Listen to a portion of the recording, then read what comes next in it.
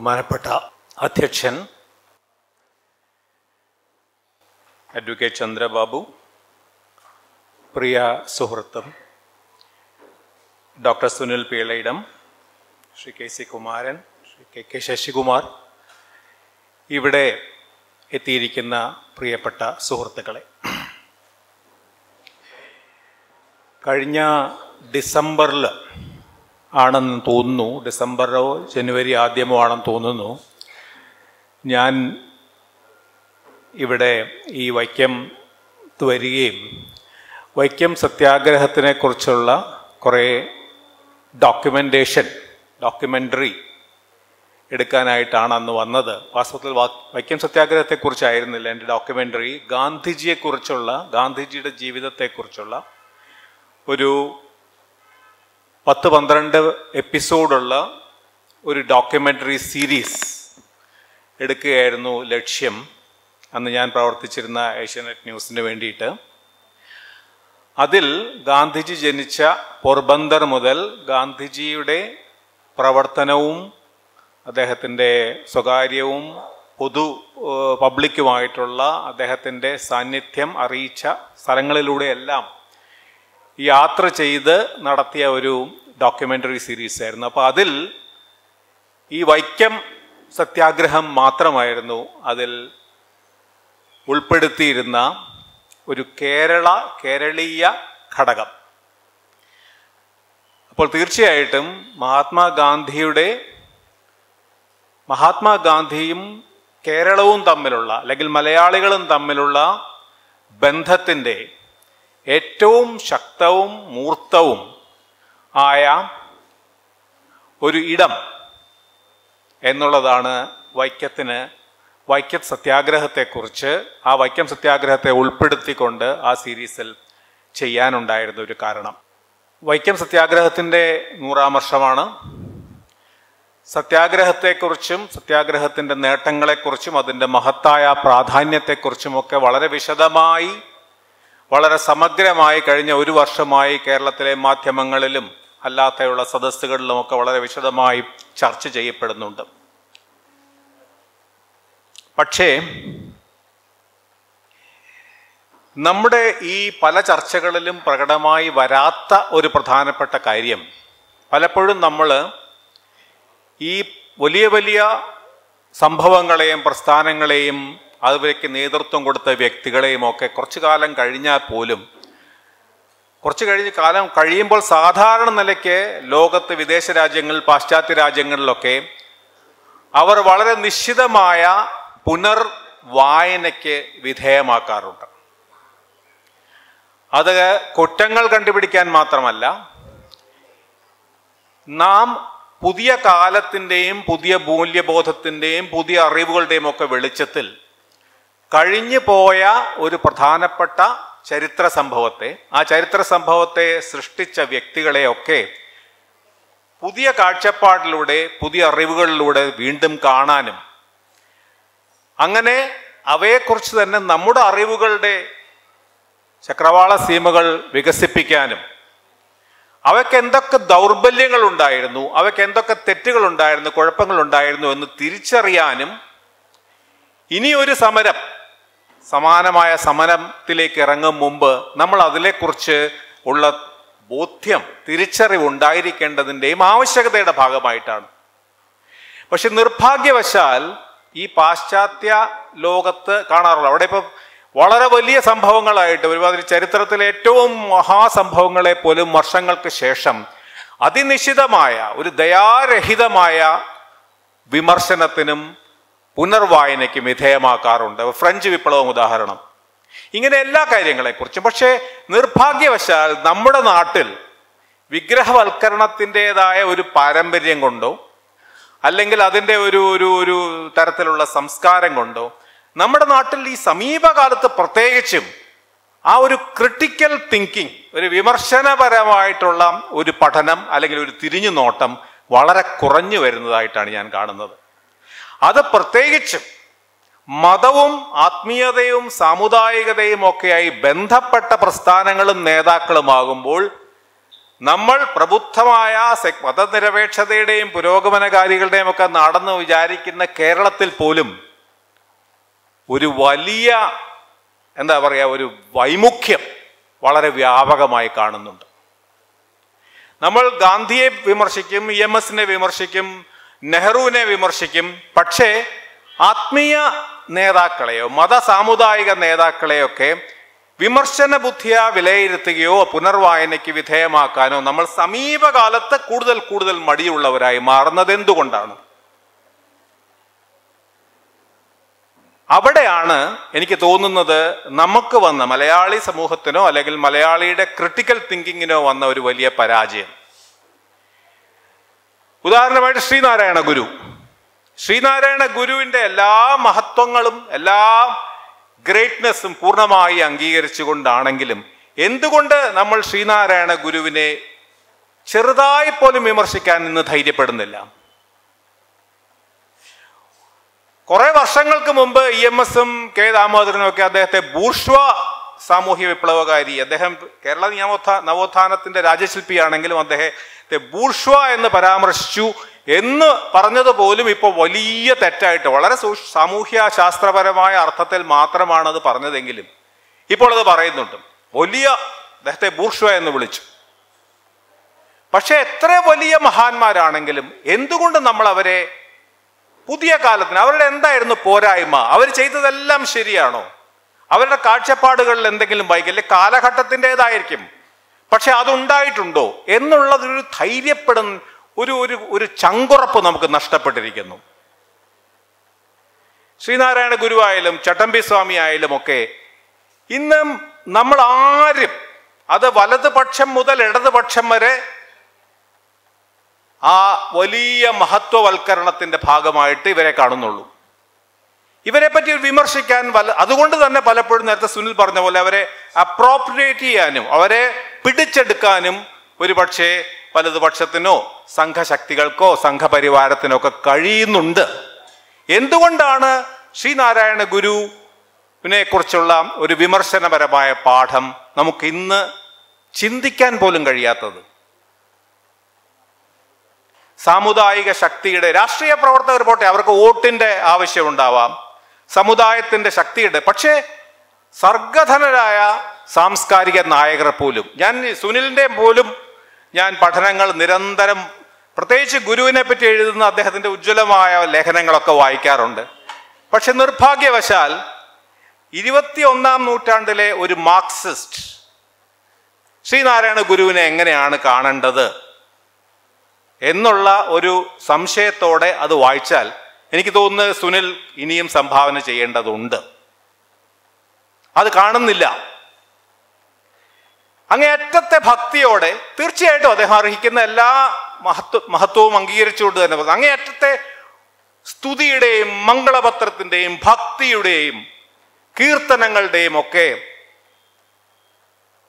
അവയെ കൊണ്ട് മൂടപ്പെട്ടിരിക്കുകയാണ് അദ്ദേഹത്തിന്റെ സംഭാവന അദ്ദേഹത്തിന്റെ വ്യക്തിത്വം. എന്തുകൊണ്ട് അതിൽ മാറി മാറുന്നില്ല? അതിനെ ഒരു ശ്രമം പോലും നടത്താത്ത വലതുപക്ഷം മുതൽ ഇടതുപക്ഷം വരെ ഒരുപോലെ ഒരാൾ പൂർണമായും സമ്മതനാവുന്നത് എങ്ങനെയാണ്? എനിക്ക് തോന്നുന്നത് അത് നമ്മൾ ആലോചിക്കേണ്ടതാണ്. അദ്ദേഹം ഗുരു മാത്രമല്ല ചട്ടമ്പി സ്വാമി ആയാലും അത് തന്നെയാണ്. അതെല്ലാം കടന്ന് പടി കടന്ന് കടന്ന് ഇന്ന് ഈ സമീപകാലത്ത് പോലും വർഗീയവാദിയായിട്ടും സാമുദായികവാദിയായിട്ടും സർ സി പിയുടെ കാ എന്താ പറയാ സേവകനായിട്ടും ഒക്കെ കണ്ടിരുന്ന സാമുദായിക ആചാര്യരെ പോലും ഇന്ന് മഹാപുരോഗമനകാരികളായും സാമൂഹ്യ വിപ്ലവകാരികളായും ഉദാഹരണം മന്നത്ത് പത്മനാഭൻ. അതിന്റെ ഏറ്റവും പുതിയ തെളിവാണ് ഇടതുപക്ഷക്കാർ പോലും ഇന്ന് മന്നത്ത് പത്മനാഭനെ ഭയഭക്തി ബഹുമാനങ്ങളോടെ മാത്രമേ കാണുന്നുള്ളൂ. ദേശാഭിമാനിയിൽ സമീപകാലത്താണ് മന്നത്ത് പത്മനാഭന്റെ ശതാബ്ദി അല്ല പിന്നെ ജന്മവാർഷികത്തിനോ അല്ലെങ്കിൽ മരണവാർഷികത്തിനോ ഒക്കെ എഡിറ്റോറിയൽ പേജിൽ സമ്പൂർണ ഭയഭക്തി ബഹുമാനത്തോടെയുള്ള ലേഖനങ്ങൾ അനുസ്മരണ ലേഖനങ്ങൾ വന്നു തുടങ്ങുന്നത്. ഇടതുപക്ഷ ചരിത്രകാരന്മാർ ആണ് എഴുതി വിടുന്നതും. എഴുതുന്നതിന് കുഴപ്പമില്ല പക്ഷെ ഒരു തെറ്റുമില്ലേ മന്നത്ത് പത്മനാഭന്? ഒരു ഇരുപത് വർഷം മുമ്പ് അദ്ദേഹം ഒരു വർഗീയവാദിയാണെന്ന് പറഞ്ഞു കേട്ടതാണ് അവസാനത്തെ വിമർശനം. അതിനുശേഷം ഇന്ന് കാരണം വോട്ടാണ്. നായന്മാരുടെ വോട്ട് വേണം ഈഴവരുടെ വോട്ട് വേണം മറ്റുള്ളവരുടെ വോട്ട് വേണം. പക്ഷെ വോട്ട് ചോദിക്കുന്ന രാഷ്ട്രീയക്കാരെ വിടൂ. പക്ഷെ വലിയ പ്രസ്ഥാനത്തിന്റെ ഇടതുപക്ഷ ബുദ്ധിജീവികൾ ഇടതുപക്ഷ ചരിത്രകാരന്മാർ എങ്ങനെയാണ് ഇങ്ങനെ എഴുതുന്നത്? ശ്രീ മന്നത്ത് പത്മനാഭൻ ഒരു കറകളഞ്ഞ സാമൂഹ്യ വിപ്ലവകാരിയായിരുന്നു എന്നുള്ള ഭീ ഈ സമീപകാലത്തെ കഥകൾക്കാണ് മറന്നു പോകുന്നത് എങ്ങനെയാണ് അതിന് ധൈര്യം വരുന്നത് ചങ്കൂറ്റം വരുന്നത്? ഇടതുപക്ഷത്തിന്റെ നേർക്കാണ് എനിക്ക് ചോദിക്കാനുള്ളത്. ബാക്കി എല്ലാവരും വിടുക. ഇടതുപക്ഷം എങ്ങനെയാണ് മന്നത്ത് പത്മനാഭനെ ആരാധിക്കാൻ തുടങ്ങിയത് എന്നാണ്. ഈ വൈക്കം സത്യാഗ്രഹത്തെക്കുറിച്ച് പറയുമ്പോഴും ഇതുപോലെയുള്ള ഒരുപാട് പോരായ്മകളും ദൗർബല്യങ്ങളും തെറ്റുകളും പലരും ചൂണ്ടിക്കാണിച്ചു. സുനിൽ തന്നെ വളരെ വ്യക്തമായി അതെല്ലാം പലതും ചൂണ്ടിക്കാണിച്ചിട്ടുണ്ട്. പക്ഷേ നമ്മൾ വേണ്ട പോലെ അതിനെ പ്രശ്നവൽക്കരിച്ച് കാണുന്നുണ്ടോ? ഇല്ല എന്നാണ് എന്റെ അഭിപ്രായം. പ്രത്യേകിച്ച് ഈ നൂറ് വർഷമായപ്പോൾ പോലും നമുക്ക് അതിന് ധൈര്യം വരുന്നില്ല. അതിന്റെ പ്രാധാന്യത്തെപ്പറ്റി ഒരു സംശയമില്ല അത് സുനിൽ പറഞ്ഞു. ഇന്ത്യയിലെ തന്നെ ഏറ്റവും പ്രധാനപ്പെട്ട ആദ്യമായി ദേശീയ രാഷ്ട്രീയ പ്രസ്ഥാനം തൊട്ടുകൂടായ്മയ്ക്കെതിരെ ഐത്തോച്ചാടനത്തിന് വേണ്ടി മുന്നോട്ട് വന്നത് ഈ സമരത്തിന്റെ ഈ സമരത്തിന് വേണ്ടിയാണ് ആദ്യമായി ജാതി ഉച്ചനീചത്വം ഒരു പ്രധാനപ്പെട്ട വിഷയമായി രാഷ്ട്രീയ ദേശീയ പ്രസ്ഥാനത്തിന്റെ മുന്നിൽ എത്തിച്ച മഹാത്മാഗാന്ധിയുടെ അനുഗ്രഹാശിസ്സുകൾ ഭാഗികമായി എങ്കിലും സ്വീകരിച്ചുകൊണ്ടാണ് ഇത് നടത്തിയതും പിൻ പിന്നെ അവസാനം അവസാനിച്ചതും. ശ്രീനാരായണ ഗുരുവും പെരിയോറും മഹാത്മാഗാന്ധിയും രാജാജി മുതലായ മഹാരഥന്മാർ ഒന്നിച്ചണിനിരന്ന ഒരേ ഒരു സമര പിന്നെ ഘട്ടമാണത്. ഇതെല്ലാം ശരിയാണ്. ഇതിന്റെ പ്രാധാന്യം ഒരു കാലത്തും കുറച്ച് കാണാനും കഴിയില്ല. അതിനേക്കാട്ടിലും ഏറ്റവും പ്രധാനം ഒരുപക്ഷെ കേരളത്തിന്റെ വലിയ കടുത്ത ജാതി വിരോധം ഇപ്പോഴും അതിനേക്കാട്ടിലൊക്കെ പണ്ടത്തെക്കാട്ടിലൊക്കെ നമ്മൾ എത്രയോ പിന്നോട്ടാണ് പോയിരിക്കുന്നത്. സവർണ ജാതിക്കാരും പിന്നോക്ക ജാതിക്കാരും എല്ലാം ഒന്നിച്ച് പ്രവർത്തിച്ച മറ്റൊരു കൈകോർത്ത് നിന്ന് പ്രവർത്തിച്ച മറ്റൊരു സാമൂഹ്യ വിഷയം അതിനുശേഷം ഉണ്ടായിട്ടുണ്ടോ? ഇത്ര വലുത്. ഗുരുവായൂർ സമരമുണ്ട് ശുചീന്ദ്രം സമരമൊക്കെ ഉണ്ട്. പക്ഷേ ഇന്ന് നമ്മൾ കാണുന്നത് എന്താ? പരസ്പരം ഭയങ്കരമായിട്ട് അകന്നൊന്നു മാത്രമല്ല പരസ്പര വിദ്വേഷത്തിന്റെ അങ്ങേ അറ്റത്തിലാണ്. ഈ ജാതി വിഭാഗങ്ങളെല്ലാം. അപ്പോൾ അന്ന് നൂറു വർഷം മുമ്പ് കേരളത്തിൽ സവർണരും അവർണരും ഹിന്ദുക്കളും മുസ്ലിങ്ങളും സ്ത്രീകളും അത് വളരെ പ്രധാനമാണ്. മഹാത്മാഗാന്ധിക്കാണ് അതിനുള്ള ക്രെഡിറ്റും. മഹാത്മാഗാന്ധിയാണ് ഇന്ത്യൻ ദേശീയ പ്രസ്ഥാനത്തിന്റെ മുന്നിലേക്ക് സ്ത്രീകളെ ആനയിച്ച ഏറ്റവും പ്രധാനപ്പെട്ട കാര്യം ആൾ. അപ്പോൾ ഒരുപക്ഷെ കേരളത്തിൽ സ്ത്രീകൾ വീട്ടമ്മമാർ മുന്നിൽ നിന്ന് പ്രവർത്തിച്ച മറ്റൊരു സമരം ഉണ്ടായിട്ടില്ല. പക്ഷേ അങ്ങനെയൊക്കെയുള്ള പ്രാധാന്യമുണ്ട്. അതിന്റെ ഒട്ടും കുറയ്ക്കാൻ പിന്നെ അതിന്റെ അത് വിജയമാണോ പരാജയമാണോ എന്നുള്ളതാണ് രണ്ടാമത്തെ പ്രശ്നം. അതിനെപ്പറ്റിയും സുനിൽ പറഞ്ഞു. അത് സമീപകാലം വരെ എങ്കിലും അതൊരു മഹാവിജയമായി മാത്രമാണ് പ്രകീർത്തിക്കപ്പെട്ടിരുന്നത്. ദേശീയവും അന്തർദേശീയവുമായിട്ടുള്ള പണ്ഡിതന്മാർ ഗാന്ധിയന്മാർ. ഇതൊരു വലിയ വിജയം ഗാന്ധിയുടെ വിജയം സാമൂഹ്യ വിപ്ലവം എന്നുള്ള രീതിയിലൊക്കെയാണ് കണ്ടത്. എന്നാൽ അടുത്ത കാലത്ത് അടുത്ത കാലത്തെന്ന് പറയാൻ പറ്റില്ല ഒരു ഒരു അടുത്ത കാലത്താണ് കൂടുതലായതും. ഒരുപക്ഷെ ചരിത്രകാരനായ ടി കെ രവീന്ദ്രനും മറ്റും തുടങ്ങി വെച്ച ഒരു പ്രധാനപ്പെട്ട ധാരയാണ് അതിന്റെ വിമർശനം. എന്തായിരുന്നു ആ സമരത്തിന്റെ യഥാർത്ഥ ഫലം എത്രമാത്രം വിജയമായിരുന്നു എന്നുള്ളതിനെക്കുറിച്ച് ഗുരുതരമായ സംശയങ്ങൾ ഉന്നയിക്കുന്നുണ്ട് ടി കെ രവീന്ദ്രൻ. സമീപകാലത്ത് നേരത്തെ പറഞ്ഞ പോലെ അമേരിക്കയിലെ ചരിത്രകാരിയും ഹ്യൂമൻ റൈറ്റ്സ് ആക്ടിവിസ്റ്റും ഗാന്ധിയുടെ അനു അങ്ങേയറ്റത്തെ പിന്നെ അനുകൂലിയും ഒക്കെയായ മേരി എലിസബത്ത് കിങ് എന്ന ചരിത്രകാരി വൈക്കം സത്യാഗ്രഹത്തെക്കുറിച്ച് വന്ന ഏറ്റവും സമീപകാലത്തെ പുസ്തകം ഒരു അഞ്ചാറ് വർഷം മുമ്പത്തെ ആറ് രണ്ടായിരത്തി പതിനാലിലോ പതിനഞ്ചിലോ വന്ന പുസ്തകത്തിൽ സമഗ്രമായി വിലയിരുത്തുന്നത് ഇതൊരു പരാജയമായിരുന്നു എന്നുള്ളതാണ്. വാസ്തവത്തിൽ അതൊരു വലിയ വിജയമാണോ പരാജയമാണോ എന്നുള്ളത് വളരെ പ്രധാനമാണ്. അതേ സമയത്ത് അത് അത്ര പ്രധാനമല്ലതാൻ എന്താണ് പ്രധാനമാണെന്ന് പറയാൻ കാരണം? പ്രധാനമാണെന്ന് പറയാൻ കാരണം എന്നാൽ മാത്രമേ അതിന്റെ പോരായ്മകളും അതിന്റെ ദൗർബല്യങ്ങളും നമ്മൾ പഠിക്കുകയുള്ളൂ നമ്മൾ തിരുത്തുകയുള്ളൂ നമ്മൾ നമ്മളെ തന്നെ തിരുത്താനും നവീകരിക്കാനും ശ്രമിക്കുകയുള്ളൂ. അത് അത്ര പ്രധാനമല്ല എന്ന് പറയാൻ കാരണം സുനിൽ നേരത്തെ പറഞ്ഞ പോലെ ലോ ചരിത്രത്തിലെ ഒരുപാട് മഹാസമരങ്ങൾ അതിന്റെ ലക്ഷ്യത്തിലൊന്നും എത്തിയിട്ടൊന്നുമില്ല. അത് പരാജയപ്പെട്ടു എന്ന് വേണമെങ്കിൽ കാണാം. പുനപ്ര വയലാർ പുനപ്ര വയലാർ സമരം പരാജയപ്പെട്ടു എന്ന് കരുതുന്ന ഒരുപാട് പേരുണ്ട്. അതൊരു പരിധിവരെ ശരിയാവാം.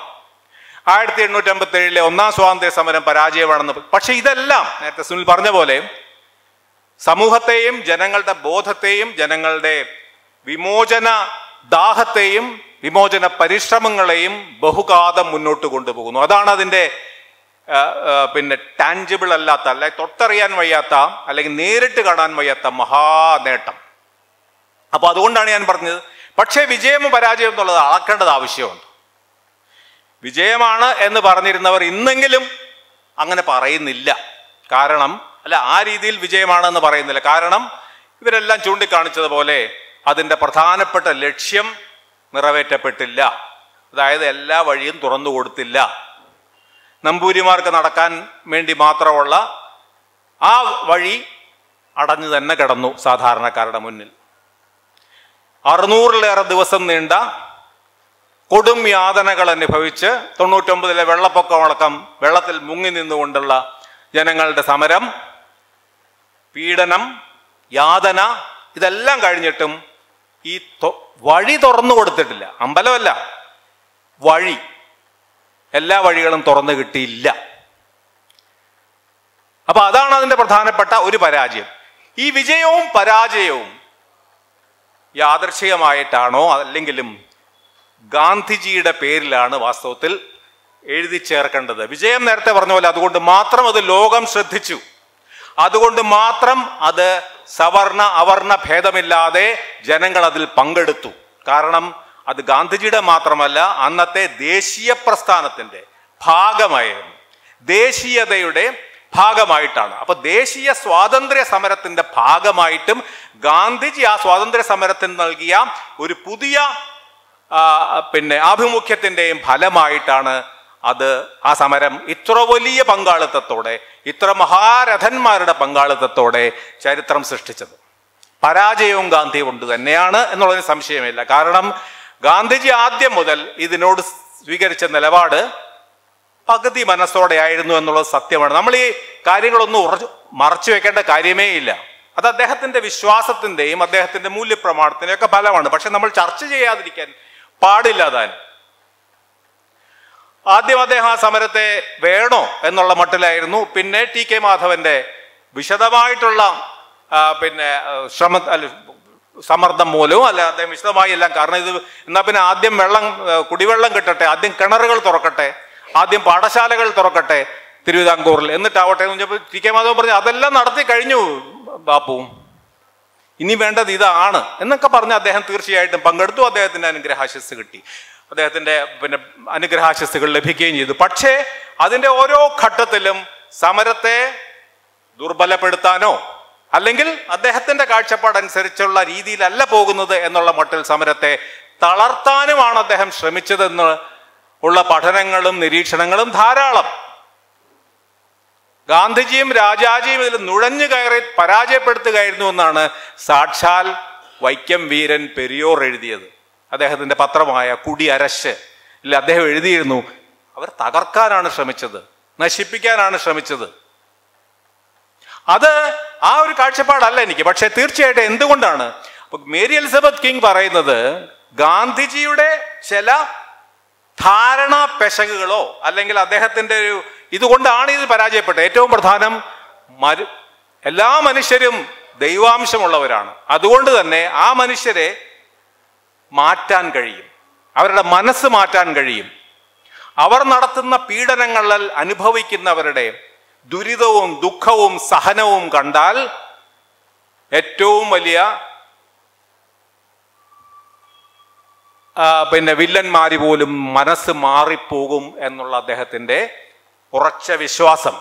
അതായിരുന്നു അദ്ദേഹത്തിന്റെ സയൻസ് ഓഫ് സത്യാഗ്രഹം. സത്യാഗ്രഹത്തിന്റെ ശാസ്ത്രം അതായിരുന്നു.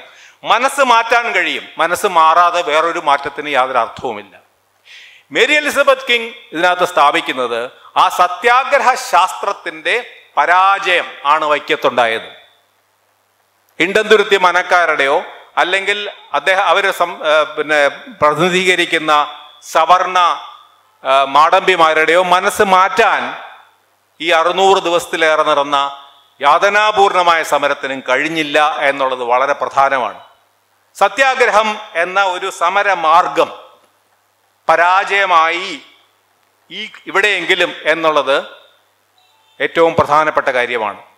അതിനുശേഷമാണ് സുനിൽ പറഞ്ഞ പോലെ അതിനുശേഷമാണ് ഗാന്ധിജി പല പല സമരങ്ങളുടെ അതിനു മുമ്പ് തന്നെ അദ്ദേഹത്തിന് അറിയാം അദ്ദേഹത്തിന്റെ തെക്കേ ആഫ്രിക്കയിൽ ഇതിനകത്ത് ഈ മേരി കിങ്ങിന്റെ ബുക്കിന്റെ മറ്റേ മുഖവര എഴുതുന്ന ഭിക്കു പരേഖ് പ്രശസ്തനായ ഗാന്ധിയൻ. അദ്ദേഹം പറയുന്നുണ്ട് തെക്കേ ആഫ്രിക്കയിൽ ഗാന്ധിജി നടത്തിയ സത്യാഗ്രഹങ്ങൾ പോലും പരാജയപ്പെടുകയാണ് ചെയ്തത്.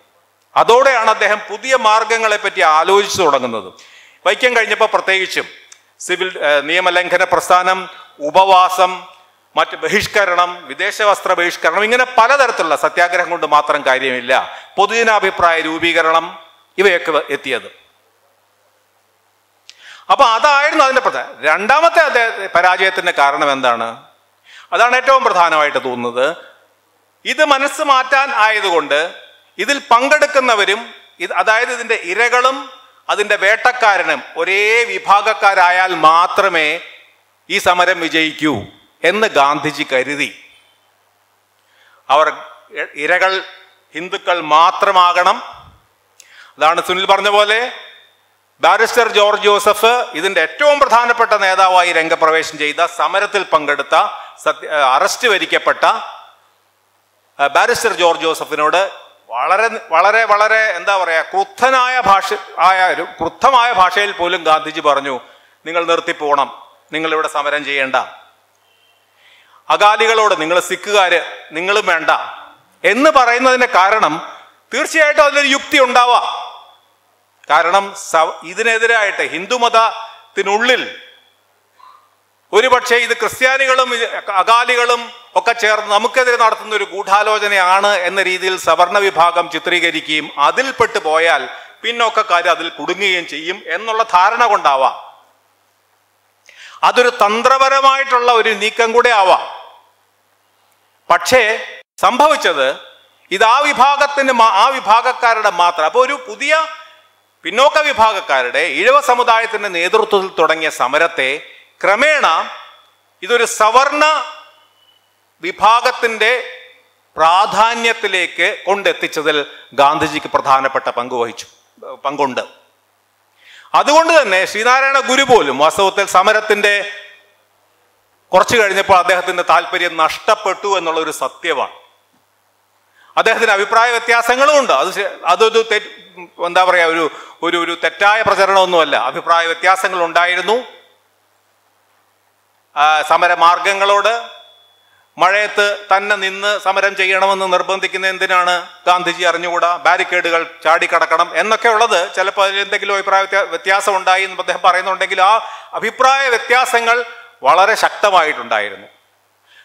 അപ്പോൾ Mary Jo Mary Elizabeth King പറയുന്നത് കേരളത്തിൽ തിരുവിതാംകൂറിൽ പിന്നോക്ക വിഭാഗക്കാരുടെ ഒരു വിമോചന പോരാട്ടത്തിന്റെ ഒരു പ്രധാന ഘട്ടത്തിൽ വെച്ച് അതിനെ തളർത്തിക്കളഞ്ഞു എന്നുള്ളതാണ് ഗാന്ധിജിയുടെ ഒരു പ്രധാനപ്പെട്ട തെറ്റായിട്ട് അവർ ചൂണ്ടിക്കാണിക്കുന്നത്. അതുകൊണ്ട് തന്നെ ഈ സമുദായം ഈ സമൂഹം ഉണർന്നെണീക്കുന്നതിനുള്ള ഒരു തടസ്സമായി ആ സമരം മാറുകയാണ് ചെയ്തത്. അതുകൊണ്ടാണ് ആ വിഭാഗം പതുക്കെ അപ്പൊ ഗാന്ധിയുടെ ലക്ഷ്യം അതായിരിക്കാം മറ്റതായിരിക്കാം നേരത്തെ പറഞ്ഞ പോലെ. പിന്നെ അത് ഹിന്ദു വിരുദ്ധമാകരുത്. സനാതന ഹിന്ദുക്കൾക്ക് പോലും വിഷമം തോന്നരുത്. മഹാരാജാവിനും മഹാറാണിക്ക് പോലും വിഷമം തോന്നരുത്. എന്നൊക്കെ അദ്ദേഹത്തിന് നിർബന്ധമുണ്ടായിരുന്നു. അതിവിടെ മാത്രമല്ല അദ്ദേഹത്തിന്റെ രാഷ്ട്രീയ സമരങ്ങളിലൊക്കെ അത് പ്രകടമാണ്. അപ്പോൾ ആ സമരത്തെ ആ രീതിയിൽ മാറ്റിയതോടെ ഒരു അവേക്കനിങ് ഒരു ഒരു ഉണരാനുള്ള ഒരു ഉണർവിനുള്ള ഒരു പ്രധാനപ്പെട്ട പ്രതിബന്ധമായി മാറിയത് ഈ വിഭാഗക്കാരുടെ ഉണർവിനുള്ള പ്രതിബന്ധമായി മാറിയത് ഗാന്ധിജിയുടെ തീരുമാനമാണ് എന്നുള്ളതിനെക്കുറിച്ച് മുമ്പ് ടി കെ രവീന്ദ്രൻ ചൂണ്ടിക്കാണിച്ചിരുന്നു. മേരി എലിസബത്ത് കിങ് അത് വളരെ വിശദമായി സമഗ്രമായി അത് ചൂണ്ടിക്കാണിക്കുന്നുണ്ട്. ഈ ഇത് എപ്പോഴാണ് ഈ സംഭവിക്കുന്നത്? നേരത്തെ പറഞ്ഞ പോലെ ദേശീയ സമരത്തിന്റെ ഒരു പുതിയ ഘട്ടത്തിലാണ്. അതോടൊപ്പം തന്നെ ഹിന്ദു വിഭാഗത്തിലെ ഭീകരമായ ചൂഷണത്തിലും വിവേചനത്തിനും അടിമപ്പെട്ട് കിടക്കുന്ന ഒരു വിഭാഗത്തിൽ ഒരു വലിയ വിഭാഗമെങ്കിലും മതം മാറാനുള്ള തീരുമാനങ്ങളിലേക്ക് ക്രമേണ എത്തിച്ചേരുന്നു എന്നുള്ളൊരു ഭയപ്പാട് വ്യാപകമായി ഗാന്ധിജി അടക്കമുള്ളവരിൽ വരികയും ചെയ്തിട്ടുണ്ട്. അതൊരു പ്രധാനപ്പെട്ട കാരണം തന്നെയാണ്. അപ്പോൾ തീർച്ചയായിട്ടും ഈ സമരത്തിന്റെ ഒരു ഫലം അല്ലെങ്കിൽ ഒരു സമരത്തിന്റെ ഒരു ലക്ഷ്യം ഈ ഹിന്ദു സമുദായത്തിൽ ഏറ്റവും അടിച്ചമർത്തപ്പെട്ട് കിടന്ന ഒരു ജനത ആ വിഭാഗത്തിൽ നിന്ന് ആ മതത്തിൽ നിന്ന് മോചനം നേടുന്നതിനുള്ള ശ്രമത്തിന്റെ മുമ്പിൽ തടസ്സമുണ്ടാക്കുകയും അവരെ ആ തുറുങ്കുകളിലേക്ക് ആ കാരാഗ്രഹത്തിലേക്ക് തന്നെ തിരിച്ചടച്ചിടാനുള്ള ഒരു വലിയ പ്രോജക്റ്റ്. ഇന്നത്തെ ഹിന്ദുത്വ പ്രോജക്റ്റിന് സമാനമായത് നമ്പൂതിരി മുതൽ നായാടി വരെ ഒന്നിച്ച് നടക്കണം ഒന്നിച്ച് പ്രവർത്തിക്കണം എന്ന് പറയുന്നത് വെള്ളാപ്പള്ളി നടേശന്റെ മാത്രമല്ല ബി ജെ പിയുടെയും വി എച്ച് പിയുടെയും ഒക്കെ മുദ്രാവാക്യമാണ്. അപ്പൊ ഇവരെ ഹിന്ദു ഫോൾഡിനകത്ത് ഹിന്ദു സമുദായത്തിനുള്ളിൽ തന്നെ നിർത്തുക എന്നുള്ളത് വാസ്തവത്തിൽ ഈ സമരത്തിന്റെയും മഹാത്മാഗാന്ധിയുടെയും ഒക്കെ പ്രധാനപ്പെട്ട ലക്ഷ്യം തന്നെയായിരുന്നു എന്നുള്ളതിനെ പറ്റി ഒരു സംശയവുമില്ല. നല്ല ഉദ്ദേശത്തിലായിരിക്കാം മഹാത്മാഗാന്ധി ചെയ്തത്. പക്ഷേ അത് തന്നെയാണ് അതിന്റെ പിന്നിലുണ്ടായിരുന്ന ഏറ്റവും പ്രധാനപ്പെട്ട. അപ്പോൾ തീർച്ചയായിട്ടും പിൽക്കാലത്ത് ഉണ്ടായിരുന്ന ഒരു നേരത്തെ നാഷണൽ പോപ്പുലർ മോഡേണൈസേഷൻ പ്രോജക്റ്റ് വാസ്തവത്തിൽ അത് മത അദ്ദേഹം അതിന്റെ അടിപ്പടവ് മതാത്മകമാണെന്ന് പറഞ്ഞു. പക്ഷേ അടിപ്പടവ് സവർണ മതാത്മകമായിരുന്നു. ആ സവർണ മേധാവിത്വത്തിന്റെ കീഴിൽ തന്നെ ഈ ഈ വിഭാഗങ്ങളെ മുഴുവൻ ഒതുക്കി നിർത്താൻ ഉള്ള ഒരു പ്രോജക്റ്റ് ഈ പ്രോജക്റ്റ് അതായത് അത് പിൽക്കാലത്ത് വന്ന ഈ നാഷണൽ പോപ്പുലർ മെജോറിറ്റേറിയൻ പ്രോജക്റ്റ് ദേശീയ ഭൂരിപക്ഷ മതാഭിമുഖ്യമുള്ള ദേശീയ പ്രസ്ഥാനത്തിന്റെ മറ്റൊരു എക്സ്റ്റൻഷനായിട്ട് അല്ലെങ്കിൽ മറ്റൊരു ഒരു വികലമായ എക്സ്റ്റൻഷൻ എന്ന് നമ്മളും പറയാവുന്ന ഹിന്ദുത്വ പ്രോജക്റ്റിന്റെ ഒരു ആദ്യ വിശ്വ ദ ഹിന്ദു മണ്ഡലം ആരാണ്? സാക്ഷാൽ മന്നത്ത് പത്മനാഭനും ആർ ശങ്കറും ഒന്നിച്ച് കൈകോർത്ത് നിന്ന് അൻപതുകളിൽ ഹിന്ദു മണ്ഡലം ഉണ്ടാക്കിയത്. ഇതിൽ നിന്ന് വേണമെങ്കിൽ അത് ഇൻസ്പിറേഷൻ ആയിരുന്നു എന്ന് പറയാം. ഇവിടെ നിന്ന് ഉയർന്നു വന്ന ഒരു പുതിയ ഐക്യത്തിന്റെ പുതിയ ബന്ധത്തിന്റെ ഇന്ന് ഈ ഹിന്ദു വിശ്വ ഹിന്ദു പരിഷത്തിന്റെ പ്രോജക്റ്റ് ഈ ഈ ഹിന്ദു മെഗാ പ്രോജക്റ്റ് അതിന്റെ ഒരു ആദിമ പരീക്ഷണശാല ആയിപ്പോലും അത് മാറാനുള്ള ഒരു ഒരു ഒരു ഒരു മട്ട് അന്ന് വളരെ പ്രകടമായിരുന്നു. അപ്പൊ അങ്ങനെ ഒരു പ്രോജക്റ്റ് ഇതെല്ലാം ബോധപൂർവം ഹിന്ദുത്വ പ്രോജക്റ്റ് ഉണ്ടെന്നല്ല. ഇതിന്റെ ഉള്ളിലൊക്കെ ഇതിന്റെ അടിയിലൊക്കെ പ്രവർത്തിച്ച സാമൂഹ്യ പ്രക്രിയകൾക്ക് ഇങ്ങനെയുള്ള സ്വഭാവങ്ങൾ ഉണ്ടായിരുന്നു എന്നുള്ളത് കാണാതിരുന്നുകൂടാ. പിന്നെ ഏറ്റവും അവസാനത്തെ പ്രധാനപ്പെട്ട പ്രശ്നം എന്താണ് ആരും ദലിത് പ്രശ്നത്തിനെ കുറിച്ച് ഇതിനെപ്പറ്റി മിണ്ടാതിരിക്കുന്നത്? ഈ സമരങ്ങളിൽ ദലിതൻ എവിടെയായിരുന്നു? അയ്യങ്കാളി വളരെ എന്താ ഒരു വന്നില്ല. അദ്ദേഹം ഒരു ചെറിയ അഭിപ്രായം അതിനെപ്പറ്റി എന്തോ പറഞ്ഞിട്ടുണ്ട്. തീർച്ചയായിട്ടും അംബേദ്കർ വളരെ ലെഫ്റ്റ് ഹാൻഡഡ് ആയിട്ടുള്ള കോംപ്ലിമെന്റ് ആണ്. ഇന്ന് നമ്മുടെ ഏറ്റവും വലിയ പ്രധാനപ്പെട്ട സമരമാണെന്ന് പറഞ്ഞ നേരത്തെ അജയ് ശേഖർ ചൂണ്ടിക്കാണിച്ചതുപോലെ അദ്ദേഹം പറയുന്നത് പരാജയമാണെന്നുള്ള അറിഞ്ഞുകൊണ്ട് തന്നെയാണ് അദ്ദേഹം അന്ന് ഈ ബൽഗാമിൽ നടത്തിയ പ്രഭാഷണത്തിൽ പറയുന്നത്. പക്ഷേ ദലിതരില്ല. ഇതിൽ മാത്രമല്ല കേരളത്തിൽ നടന്ന ടെമ്പിൾ എൻട്രി പ്രസ്ഥാനങ്ങളിൽ ക്ഷേത്രപ്രവേശന സമരങ്ങളിലൊന്നും കാര്യമായ ദളിത് സാന്നിധ്യം ഉണ്ടായിരുന്നില്ല ഇന്നും നമ്മളത് പറയുന്നില്ല. ഇന്നും ഈ സമരത്തിന്റെ പോരായ്മകളെക്കുറിച്ചും സമരത്തിന്റെ ദൗർബല്യങ്ങളെക്കുറിച്ച് പറയുമ്പോൾ പോലും ഈ പ്രശ്നം നമ്മൾ അഡ്രസ്സ് ചെയ്യുന്നില്ല. എന്തുകൊണ്ട് ദലിതർ ഇതിൽ തൽപരരായിരുന്നില്ല? അത് വളരെ പ്രധാനം. ഇപ്പോൾ ഇപ്പൊ ഈ സനൽ മോഹനെ പോലെയുള്ളവർ ദലിത് സ്കോളേഴ്സ് പറയുന്നത് ഇത് ഇതിൽ പങ്കാളിത്തം ഉണ്ടായിരുന്നില്ല എന്ന് മാത്രമല്ല ഇത് ദലിത വിരുദ്ധമായിരുന്നു എന്നാണ്. അത് ചർച്ചാ വിഷയമാണ് തർക്ക വിഷയമാണ്. അദ്ദേഹം പറയുന്നത് ദലിതരുടെ ഒരു ഒരു കാരണം ദലിതർ ഈ പിന്നോക്ക വിഭാഗക്കാരുടെ വളരെ പ്രധാനപ്പെട്ട ആവശ്യങ്ങളെ ക്ഷേത്രപ്രവേശനത്തിലേക്കോ ക്ഷേത്രത്തിന്റെ വഴി പ്രവേശനത്തിലേക്കോ നാഷണലിസ്റ്റ് മൂവ്മെന്റ് ദേശീയ പ്രസ്ഥാനം ചുരുക്കുകയും അതിന്റെ അപ്പുറത്തേക്ക് പോവാതെ അതോടുകൂടി അവസാനിപ്പിക്കുകയും ചെയ്തു. കാരണം ആ ദേശീയ പ്രസ്ഥാനത്തിന്റെ ലക്ഷ്യം സ്വാതന്ത്ര്യം ദേശീയ സ്വാതന്ത്ര്യമായിരുന്നു. അത് കഴിഞ്ഞപ്പോഴേക്കും അതിന്റെ ആവശ്യം കഴിഞ്ഞു അവർക്ക്. അങ്ങനെ ഒരു കോമൺ ആയിട്ടുള്ള ഒരു ഗോൾ പിന്നെ ഇല്ല. അപ്പോൾ അദ്ദേഹം സനൽ മോഹൻ പറയുന്നത് അതാണ് ദലിതരുടെ പല കാരണങ്ങളും അദ്ദേഹം പറഞ്ഞുണ്ട് കാരണം കേരളത്തിലെ ചരിത്രകാരന്മാരും ഇന്റലക്ച്വൽസും ഒക്കെ അവഗണിച്ച ഇവരുടെ മുന്നേറ്റത്തിന്റെയൊക്കെ ഭാഗമായിട്ടാണ് അദ്ദേഹം ഇതിനെയും കാണുന്നത്. ഇവിടുത്തെ ക്ഷേത്ര പ്രവേശന സമരങ്ങളിലൊന്നും പങ്കെടുക്കാത്തതിന്റെ കാരണം പങ്കെടുത്തില്ലെന്ന് മാത്രമല്ല ഇതിങ്ങനെയും കൂടെ ഉണ്ട്. ഇതൊരു വിരുദ്ധമായിരുന്നു. കാരണം ദലിതരുടെ ആവശ്യങ്ങളുടെ മുമ്പിലേക്ക് ആവശ്യങ്ങൾ ശ്രദ്ധിക്കപ്പെടാതെ പോകുന്നതിനോ അല്ലെങ്കിൽ അവഗണിക്കപ്പെടുന്നതിനോ ഏറ്റവും പ്രധാനപ്പെട്ട കാരണമായത് ഈ നാഷണലിസ്റ്റ് മൂവ്മെന്റിന്റെ ഇങ്ങനെയുള്ള സ്വഭാവങ്ങളാണ്. അതിൽ ഈ ക്ഷേത്രപ്രവേശന സമരങ്ങളും ഒരു പ്രധാനപ്പെട്ട പങ്ക് വഹിച്ചു എന്നാണ് സനൽ മോഹൻ പറയുന്നത്. നമുക്ക് തർക്കി വിയോജിക്കാം തർക്കിക്കാം. പക്ഷെ എന്തുകൊണ്ട് അത് ചർച്ചാ വിഷയമാകുന്നില്ല? ദേശീയ പ്രസ്ഥാനത്തിന്റെ കീഴിലായാലും ഇടതുപക്ഷ പ്രസ്ഥാനത്തിന്റെ തുടർച്ചയിലായാലും നമ്മൾ കാണുന്ന ഏറ്റവും വലിയ കേരളത്തിന്റെ ന്യൂനത ഈ വിഭാഗത്തിന്റെ നേരെ പല ഡിഗ്രികളാണ്. ആരും എല്ലാവരും അവരെ കൊന്നുകളഞ്ഞു അവരെ ചൂഷ് പക്ഷേ തീർച്ചയായിട്ടും ഇന്നും കേരളത്തിലെ ഏറ്റവും അഡ് എന്താ പറയുക പരിഹരിക്കപ്പെടാതെ കിടക്കുന്ന ഈ പ്രശ്നം ഇതിന്റെ തുടർച്ചയാണ്. ഇതിന്റെ തുടർച്ച മാത്രമല്ല ഈ പ്രശ്നത്തിന്റെ ചർച്ചകളിലൊന്നും ഇപ്പോഴും വേണ്ടത്ര ഇടം കിട്ടാതെ പോകുന്നുണ്ടെങ്കിൽ അതിന്റെ പിന്നിൽ അതിന് കാരണം ഇതുപോലെയുള്ള മനോഭാവങ്ങളോ അല്ലെങ്കിൽ അത് ബോധപൂർവമാണെന്ന് പോലും പറയുന്നില്ല. പക്ഷേ ഈ അരികുവൽക്കരണമാണ്. അവർ സമരത്തിലുണ്ടായിട്ടില്ല അവർ സമരത്തിനെതിരെ അതുകൊണ്ടാണ് വാസ്തവത്തിൽ പിന്നീട് അവസാനം നേരത്തെ പെരിയോറിനെ പറഞ്ഞു പറഞ്ഞു തുടങ്ങിയതുകൊണ്ട് പെരിയോറിൽ അവസാനിപ്പിക്കുകയാണ്. പെരിയോർ പറയുന്നത് ക്ഷേത്രം പന്ത്രണ്ട് വർഷം കഴിഞ്ഞപ്പോഴേക്കും ക്ഷേത്ര പ്രവേശനം ക്ഷേത്രങ്ങൾ തുറന്നു കൊടുക്കപ്പെട്ടു.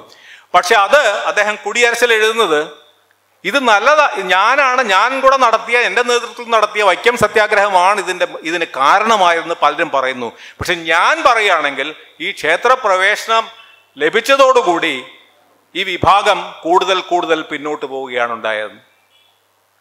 ഈ വിഭാഗം സമരം അതിന്റെ ആവശ്യങ്ങൾ മുൻനിർത്തി അവരുടെ സാമൂഹ്യവും സാമ്പത്തികവുമായിട്ടുള്ള ആവശ്യങ്ങൾ മുൻനിർത്തി സമരങ്ങളിലേക്ക് പോകുന്നതിന് പകരം അല്ലെങ്കിൽ പ്രക്ഷോഭങ്ങളിലേക്ക് മുന്നോട്ട് പോകുന്നതിന് പകരം വിധിവിശ്വാസത്തിലും മതവിശ്വാസത്തിലും ദൈവവിശ്വാസത്തിലുമൊക്കെ മയങ്ങി പോയി എന്നാണ് കുടിയരശിൽ പിന്നെ പെരിയോർ ചൂണ്ടിക്കാണിക്കുന്നത്.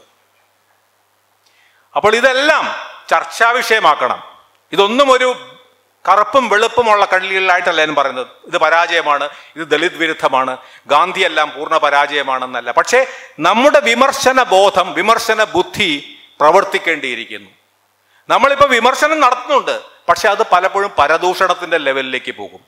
വി. ടി. ഭട്ടതിരിപ്പാടിനെ പറ്റി ഈയിടെ ഒരു വിമർശന പുസ്തകം കണ്ടു. അദ്ദേഹം ഒരു സ്ത്രീ ലംബടനാണെന്ന് സ്ഥാപിക്കുകയാണ് ആ വിമർശകന്റെ പ്രധാനപ്പെട്ട ലക്ഷ്യം. ഇ എം എസിനെ പറഞ്ഞ ഓ അദ്ദേഹം നമ്പൂതിരി മൗലികവാദിയാണ്. ഇങ്ങനെയുള്ള ശുദ്ധ പരദൂഷണത്തിലേക്കാണ് നമ്മുടെ വിമർശനം പോകുന്നത്. നമ്മുടെ വിമർശനം നമ്മുടെ ആത്മവിമർശനം കൂടുതൽ കാതലായ കാര്യങ്ങളിലേക്കും കൂടുതൽ ഗുരുതരമായ വിഷയങ്ങളിലേക്കും എല്ലാവരുടെയും നേട്ടങ്ങളും അവരുടെ സംഭാവനകളും അംഗീകരിച്ചുകൊണ്ട് തന്നെ എന്തുകൊണ്ട് അവരിങ്ങനെ ചിന്തിച്ചു? ആ കാലഘട്ടത്തിന്റെ പോരായ പരിമിതിയാണോ? നമ്മൾ ഈ- കാലഘട്ടത്തിൽ നമ്മുടെ അറിവുകളുടെയും മാനദണ്ഡങ്ങളുടെയും അളവുകോൽ വെച്ച് അന്നത്തെ ഒരാളെ അളക്കുന്നത് ശരിയല്ല. പക്ഷേ ആ അറിവുകളുടെയും ബോധത്തിന്റെയും പിൻ പിന്തുടർന്നുകൊണ്ട് നമുക്ക് അവരെ കൃത്യമായി വിലയിരുത്താൻ കഴിയും. അപ്പോൾ നാം നമ്മെ തന്നെ നവീകരിക്കുകയും നമ്മെ തന്നെ നമ്മുടെ തന്നെ തെറ്റുകൾ തിരുത്തുകയുമാണ് ചെയ്യുന്നത്. ഇങ്ങനെയുള്ള വിമർശനത്തിന് എല്ലാവരെയും വിമർശന വിധേയമാക്കുന്ന പോലെ മതജാതി സമൂഹങ്ങളെയും സമുദായ നേതാക്കളെയും നമ്മുടെ വലിയ സമരങ്ങളെയും ഒക്കെ ചെയ്യേണ്ടതുണ്ട്. ഈ ഒരു നൂറ് വർഷം കഴിയുമ്പോഴെങ്കിലും വൈക്കം സമരം ത്തിനെക്കുറിച്ച് അതിന്റെ എല്ലാ വശങ്ങളെക്കുറിച്ചും അതിന്റെ ശരി തെറ്റുകളെല്ലാ പോരായ്മകളെക്കുറിച്ചും അതിന്റെ നേട്ടങ്ങളെക്കുറിച്ചും ഒക്കെ വിശദമായ ചർച്ചകളാണ്. അല്ലാതെ എല്ലാവരും ഒരു സമവായത്തിലേക്ക് പോയി "ഏ, ഗംഭീരം ഗംഭീരം അഹോ അഹോ എന്ന് പറഞ്ഞ് ആഘോഷിച്ചിട്ട് കാര്യമില്ല എന്നുള്ളതൊന്നും കൂടി ഞാൻ അടിവരയിട്ട് പറയുകയാണ്. നിങ്ങൾക്ക് നന്ദി.